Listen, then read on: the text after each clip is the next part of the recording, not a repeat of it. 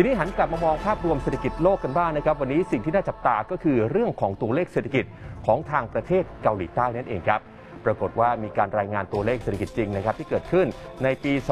2564 นะครับ GDP ของเขาสามารถเติบโตได้กว่า 4%ซึ่งเป็นอัตราการเติบโตที่สูงที่สุดในรอบกว่า 11 ปี ปัจจัยผลักดันก็มาจากการส่งออกที่แข็งแกร่งนั่นเองครับ การส่งออกของประเทศเกาหลีใต้นะครับถือว่าเป็นจุดสำคัญในการผลักดันการเติบโตทางเศรษฐกิจของเขาจริงๆนะครับข้อมูลจากธนาคารแห่งประเทศเกาหลีใต้แสดงให้เห็นว่าผลิตภัณฑ์มวลรวมภายในประเทศ หรือว่า GDP ในปี 2564 เติบโตได้กว่า 4%เป็นอัตราที่สูงที่สุดในรอบ 11 ปีนะครับเนื่องจากความต้องการการส่งออกเพิ่มสูงขึ้น ธนาคารกลางของเกาหลีใต้ยังคาดการณ์ว่า GDP ในปี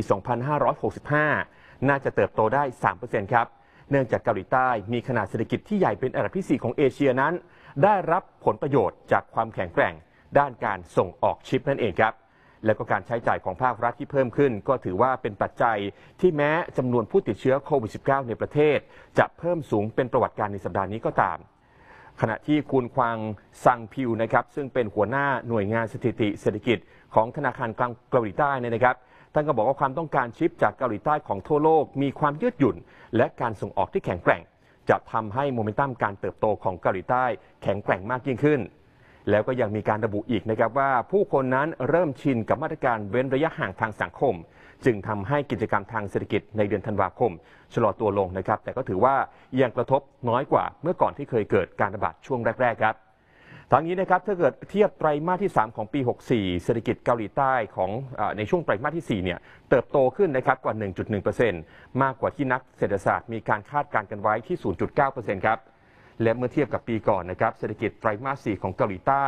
ก็เติบโตได้กว่า 4.1%สูงกว่าที่คาดการไว้ 3.7%เหมือนกัน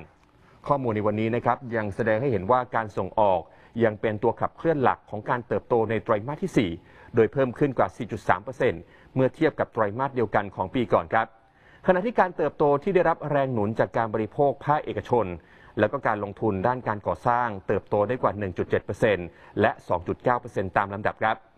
เมื่อวันที่ 14 มกราคม ธนาคารกลางของเกาหลีใต้ ได้มีการขึ้นอัตราดอกเบี้ยอ้างอิง สู่ระดับเดียวกับก่อนเกิดการระบาดแล้วนะครับ พร้อมทั้งส่งสัญญาณว่าอาจจะมีการคุมเข้มมาตรการทางการเงินต่อไป เนื่องจากการเติบโตและก็แรงกดดันด้านเงินเฟ้อยังคงแข็งแกร่งครับขอบคุณที่ติดตามรับชมย่อโลกเศรษฐกิจนะครับ อย่าลืมกด subscribe กดติดตาม กดไลค์และกดแชร์ และคุณจะไม่พลาดทุกคลิปวิดีโอดีๆ จากทีเด่นช่อง 16 ครับ